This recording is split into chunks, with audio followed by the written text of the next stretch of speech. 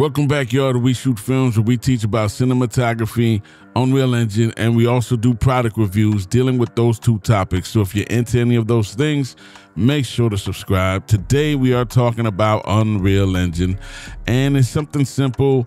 Uh, I had a request. Somebody asked me, how do I connect the green screen to a car, like if they're performing in the car while the car is, car is moving?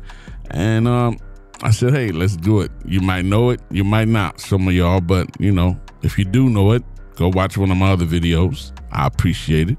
But for those who don't know it, let's do it. All right, let's get into it. Here we go, y'all. All right, so here we go. Um, we got this right here. I know some of y'all like to know where I got to get some of this stuff from. Uh, you can go to the store and um, the marketplace, I believe. And it's the car. It's called Car Configurator. There you go. That's how you do it. It's called Car Configurator. It's pretty cool. So go ahead and get it if you want to get it.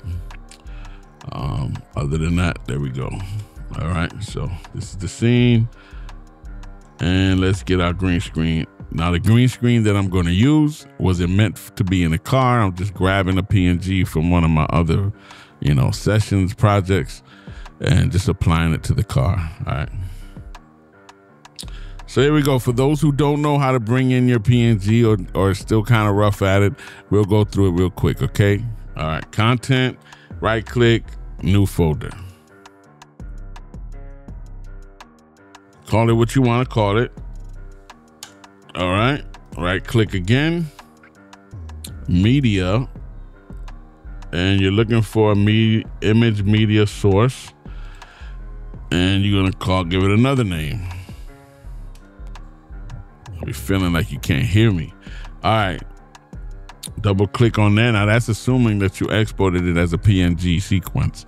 I export all my green screen from After Effects into a PNG sequence. All right. Then you come here, say sequence path, you grab it, you find where you have it at.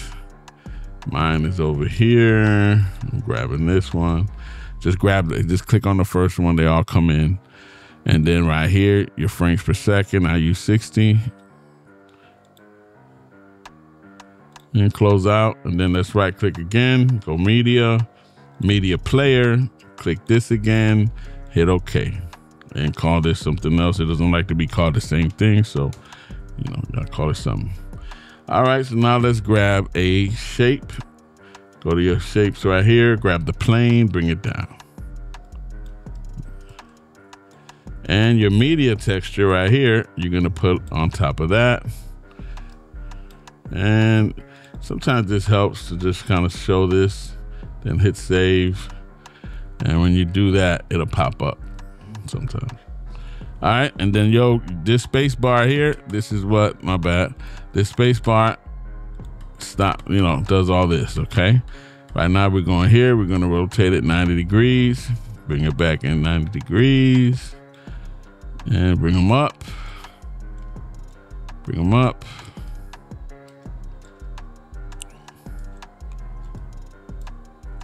And let's stretch them out a little bit. Now you, this is gonna stretch them here. Okay. He's gonna kind of make him look human. There you go. And then what we want to do is make sure he's compatible with the sizing of the world. You know what I mean? So he's in the right size. He ain't too tall, too big, or too small. And the best way I find to do that is to bring in a mannequin. Okay. I already have one.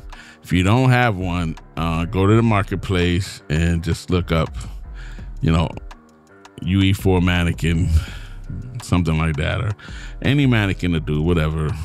But right here, it's free. Just throw it in there. Okay. Now I'm, I'm gonna say this: if you see this here, no compatible users. Now these are for people that's just kind of getting into this. I know some of y'all know, so you know, bear with me. You press, you show, you click on here, show all projects. Click on your project and then choose the most latest one, and then hit add to project I already have it, so I'm not going to do it. And then you look for him. And right here you see mesh, and you just bring him out, okay? and you just kind of want to take your green screen and, you know, kind of match it up. And then here on the right of your green screen, you want to see this not open. You want to see this like this, and you're going to kind of bring him up and just kind of make him, it looks like, you know, he's somewhat the same head size and the body. It's pretty much, he's good. So delete the mannequin and you're good. All right. You don't have to do that, but I find it just helps me make sure I'm at the right, you know, size. And then bring him in the car. He's gonna be a backseat drive, a backseat performer. This is assuming you would have somebody in the front seat. Again, this footage was not meant for this. And there you go. He looked like he's he's looked like he's in the car. It's pretty dope. Um I'm not gonna deal with no lighting or nothing. This is again just to teach you this concept. Now, the real concept, the real reason we're here is to attach him to the car. Because right now he's not attached to the car. So if if we move the car right now, the car is just gonna move without him. You see, all right. So let's bring him back to where he needs to be. System is running kind of slow today. Okay, and this is real simple. All right. But let's, you know what, we have to make him move. So before we do all of that, let's create a sequence. All right, you go up here and you kick add level sequence. Call it what you want. I usually put it in the folder with the per with the green screen. And then right here too, hit 60 frames. You want that to be the same. And here you get add media track, and then you hit plus button, media source, and your green screen. Right click, properties, media texture. See the one with the star there. And there you go. Now he's going to move. Move this out the way. You know. And down here, let me make this longer.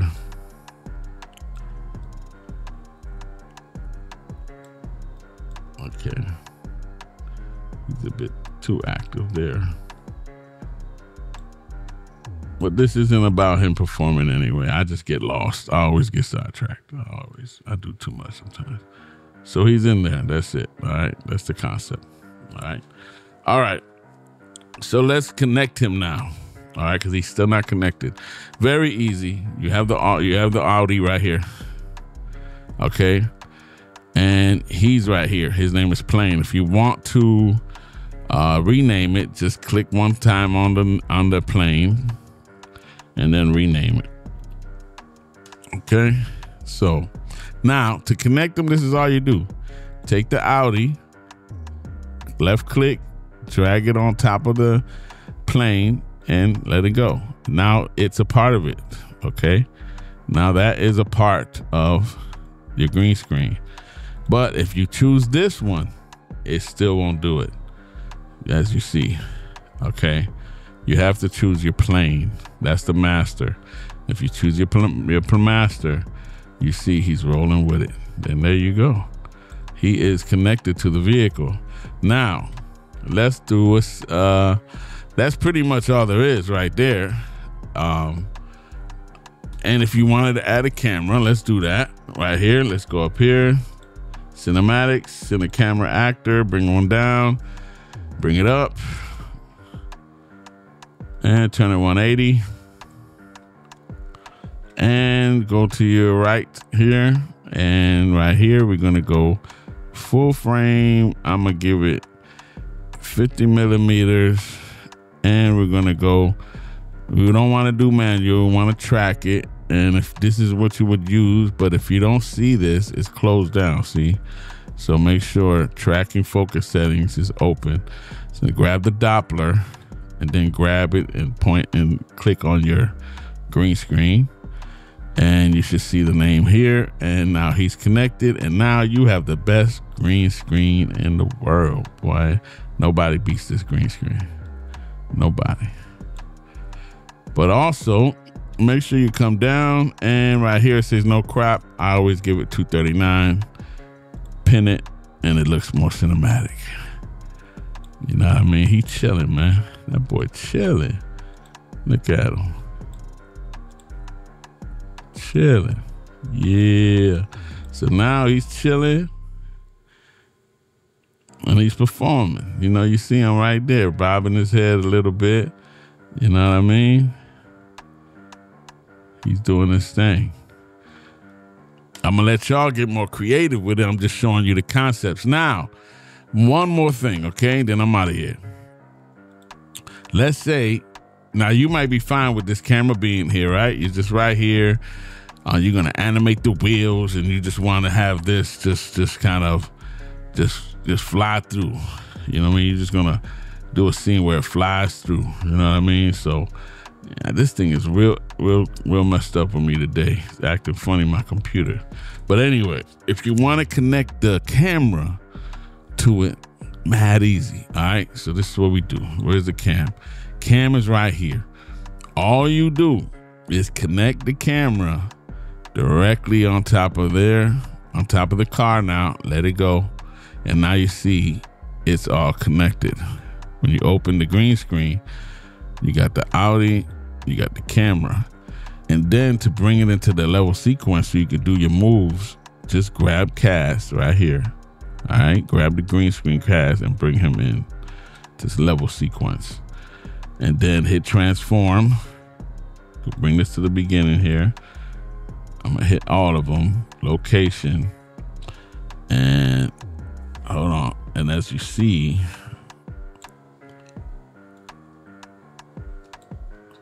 as you see, it's following it. If you look at it, look at them. It's following it. Now, of course, the, the wheels aren't turning because we didn't do that, but it's actually following the car now. And if you want to see that, all you got to do is grab the camera, bring it in, and then